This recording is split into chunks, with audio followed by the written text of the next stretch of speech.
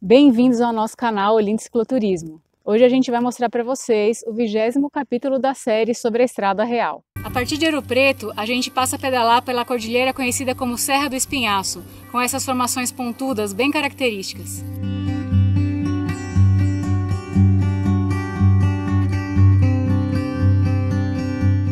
Esses vídeos a gente gravou enquanto a gente estava atualizando os guias do Caminho Velho e do Caminho dos Diamantes. Você pode baixar a atualização de forma gratuita lá no nosso site. O link está aqui na descrição. E lá no nosso site também você pode comprar os guias com desconto enquanto a gente estiver postando os capítulos da série. Em Urubici já está meio friozinho, né? A gente está aqui né, é, no quintal do Dr. Rodrigo, né? Mas é, já está fazendo friozinho, né, Rafa? Então hoje, pessoal, a gente vai ver, vai dar uma volta é, na Serra do Caraça. Começa lá onde a gente parou, né, Santa Rita Durão, e vai continuando dando a volta circundando o Caraça. Você vai gostar, tenho certeza, porque essa região é super bonita. Agora, se você quiser saber um pouco mais, dá uma olhada nos nossos documentários antigos, que tem o link ali embaixo, né? E no final você já sabe, tem dica legal aí.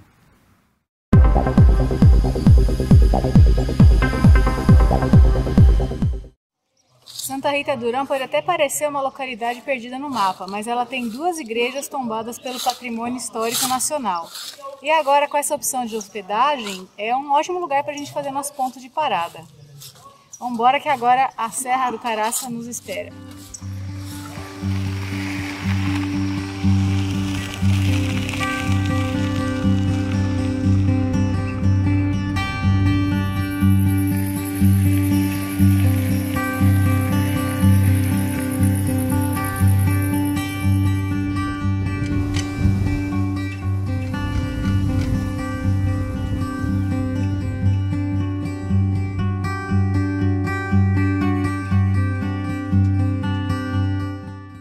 Calma, seu vídeo predileto ainda não está acabando. Na verdade, o caminho dos diamantes está só começando. Agora que você já sabe onde está esta paisagem, venha para cá de bicicleta ver de perto essas belas montanhas.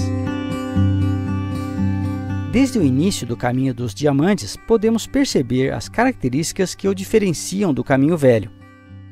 A exploração dos diamantes no Brasil foi posterior à do ouro e a coroa portuguesa se apoderou da produção de diamantes de uma forma muito mais incisiva. A região do Caminho dos Diamantes ficou restrita por 100 anos e depois esquecida com a mudança da capital para Belo Horizonte e a vinda dos trilhos de trem pelo lado oeste do Espinhaço. A maior riqueza do Caminho dos Diamantes está na beleza de suas paisagens naturais, tão bem preservadas pelo esquecimento.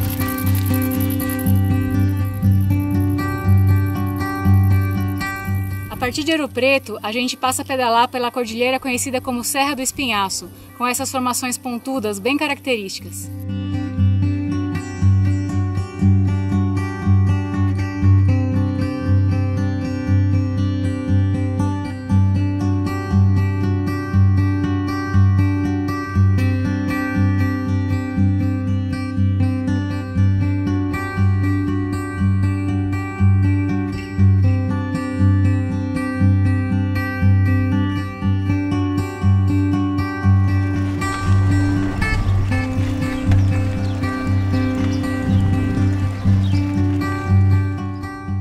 Até agora, a bela Serra do Caraça sempre esteve ao nosso lado esquerdo.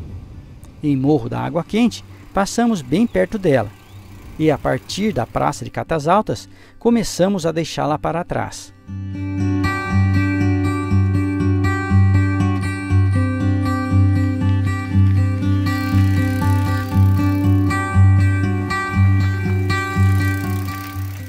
Muita atenção em seu guia pois a partir de Catas Altas existem várias atrações interessantes e terá que decidir seu caminho conforme os seus interesses. Poderá visitar a cidade histórica de Santa Bárbara ou passar um tempo dentro do Santuário do Caraça. Veja mais detalhes em nossos guias e em nossos documentários antigos. Os links estão na descrição deste vídeo.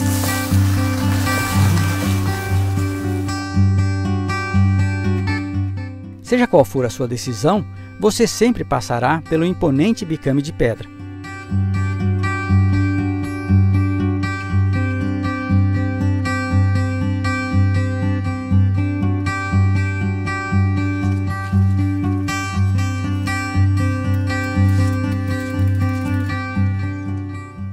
Rafa, qual que é o último ponto? Cruzamento, tomar a direita. E o próximo ponto? Cruzamento, virar à direita seguindo ao lado do trilho de trem.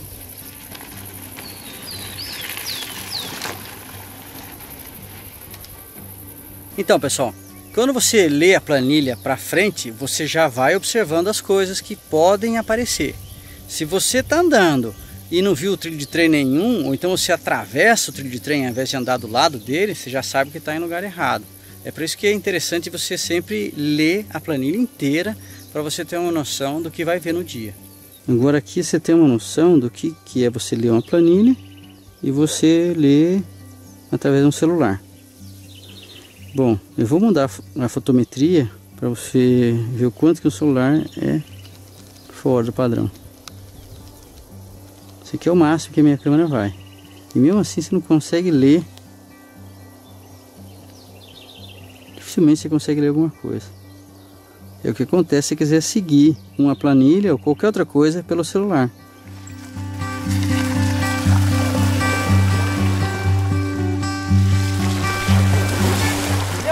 No guia você encontrará vários atalhos, mas é bom estar bem preparado para atravessar riachos. Então pessoal, eu vou mostrar agora uma forma assim infalível para você descobrir se o rio está muito fundo para passar de bicicleta. Você pode ajudar, Rafa? Ah, melhor, fala o seguinte, dá uma olhada no nosso vídeo que a gente fez sobre a Estrada Real, aquele vídeo antigo lá, que aí eu conto melhor, tá bom? Vocês vão entender melhor, tá bom? Obrigado.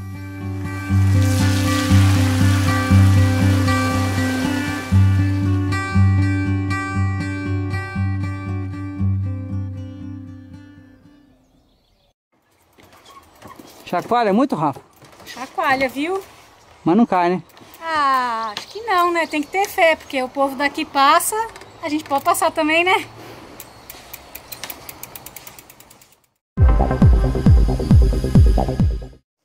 Pessoal, a dica de hoje é meio assim, meio que explicando né, o nosso projeto um pouco.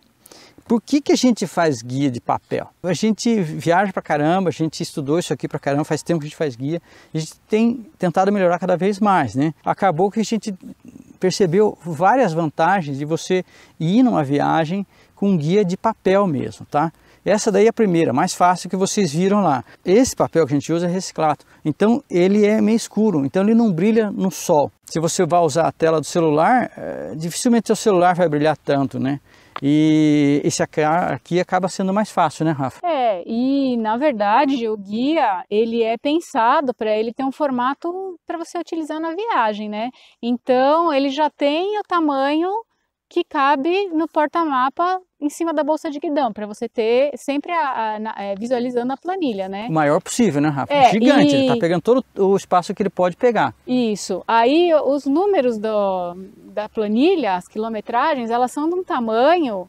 Eu já estou com 46, né? É, sei lá. Eu tá ali na minha bolsa de guidão, eu enxergo que no quilômetro ponto 52 tem um, é, algo para eu ler para me orientar. Então, você, mesmo pedalando, você já vai vendo onde que vai ser o próximo ponto que, que você pode ter dúvida.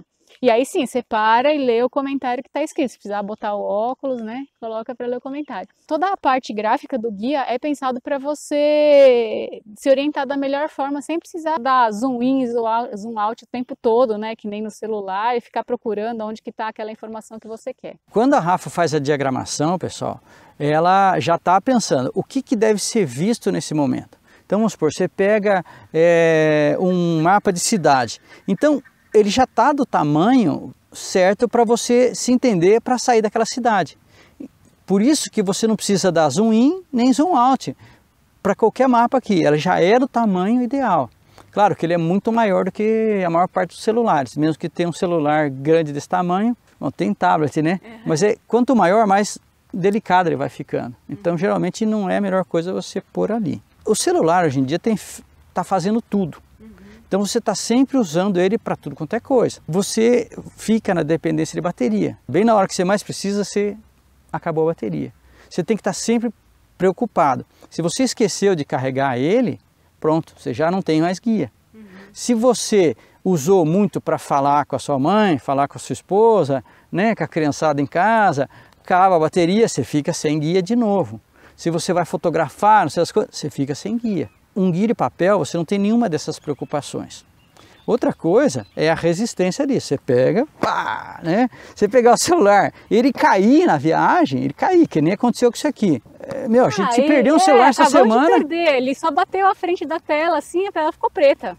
Acabou. Ficou preta e acabou. É, aí você tá lá no meio, o que, que você faz? Aí você vai falar, puxa, mas o guia é pesado. Bom, você tira só as folhas que você precisa. Lê em casa, né? Lê o conteúdo de preparação e tudo mais, tira só as folhas que você precisa. Que celular que é realmente prova d'água? Só os mais caros. Você pega isso aqui, coloca naquela é, visor de mapa, ou então pronto, pega um ziplock lá da cozinha da tua casa e fecha ele, ele ficou à prova d'água. Ah, mas e se entrar água? Se entra água no papel, depois ele seca, ele volta a ser a mesma coisa. O teu celular, infelizmente, não vai acontecer isso. Se entrar água nele, você pode mandar um abraço, né, cara? Uma moça falou uma vez, ah, mas vocês não têm eletrônico, mas é antiecológico. Esse papel é reciclado. Agora, o celular, você não sabe de onde que ele veio, nem para onde que ele vai.